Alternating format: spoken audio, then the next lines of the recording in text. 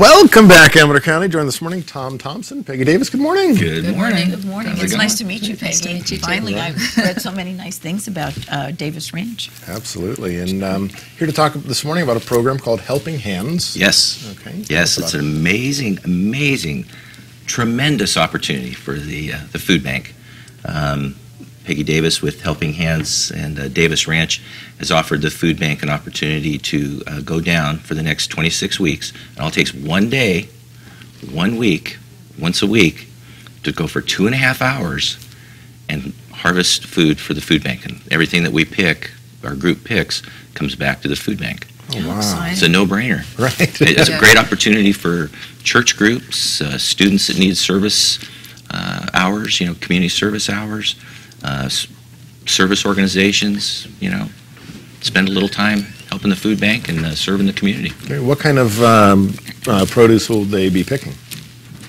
Well, uh, there's about 30 things that we grow, but primarily we'll be picking squashes and um, cucumbers, bell peppers, watermelon, Wow. cantaloupe. As the season progresses, we'll add more. We've been doing this, Davis Ranch has been doing this for about 20 years, but we discovered there's so much surplus. We plant heavy because we want it to be, we want to always have plenty, and so we have more than enough that just gets turned under. So last year, we formed Helping Hands Produce because we know that we have produce, but we also know that it takes helping hands to produce anything good in our community. Right. So that's when we started tapping into um, volunteers and uh, school educational field trips teaching on nutrition. Yeah. Right. And you hit on something, because it's important for kids to understand that um, not everybody has food on their table at night. And I think that this is a good idea, no, no matter what they do, whatever, you know, bring a can of food, you know, like once a month have a food drive or whatever. And we have them up in, up, we had it up in our neighborhood um, on the mailboxes to put food in there. This last week. And, um, and I missed it because I was, I was gone, so I just brought my stuff in I've got it too. for you today. But, but you know, I was in the Bay Area for about five days, and lo and behold, I saw a lot of little gardens on the side of people's yards. And I saw the little community garden. So people are going back to that. And I saw uh, food trucks, you know, the, uh, the, like, like the food Food bank. banks. So it's, um, it's growing.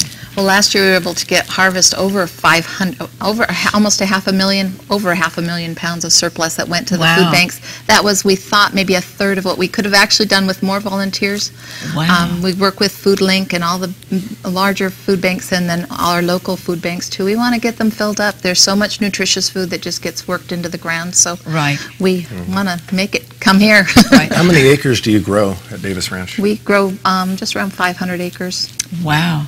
That's and we always unbelievable. plant heavy, and this year we planted heavier because we can, and uh, we just love seeing this go out. See, I think I'd like to see the, the kids get involved and do, you know, do a field trip out there and pick and then have them bring it to the food bank and show them your hard work and, and what they've done and then take it to you and show the rewarding, the reward at the end of, of everybody's hard work. And I think once you get young people involved in that, it stays, you know, it stays in their heart and they, and they say, you know what, to their mother and father, these kids can't go through a fast food place. These kids don't eat good produce.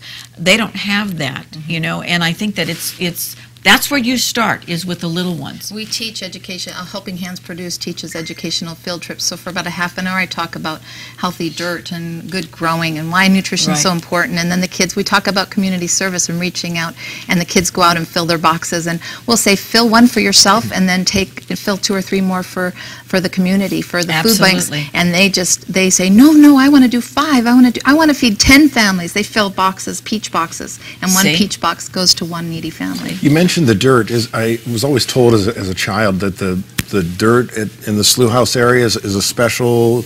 It is. It, there's something special Because about it is a slough. It's all this, all the water running out of the foothills, out of the mountains in the winter. It floods into a slough. Before the levees were there, that whole slough would fill up because it's a small, a slough is a, a little valley with a wide opening and a narrow funnel.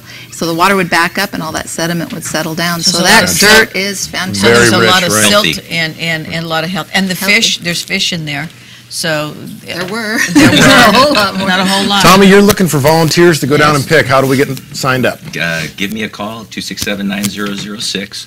Um, Rotary, Kiwanis, Lions, uh, church groups, church youth groups. We're looking for, for 10 to 20 folks to go out at one time, two and a half hours. Um, we're looking for an age group, you know, mid high school or above, um, because it is it is some work. You know, it's it's, Yeah. it's there. There's opportunities for for schools to go out and do the field trips and things like that. Peggy, as Peggy was talking about, um, but this is an opportunity to go out for two and a half hours and just and harvest. Um, I was down there uh, last Friday, I think it was Friday, and, and uh, graciously gave me a truckload, a, a bin, a watermelon bin of zucchini Wonderful. Nice. and Hey, asparagus. Stay right there. We're We gonna got to run to an ad break. We'll be right back. Stay tuned.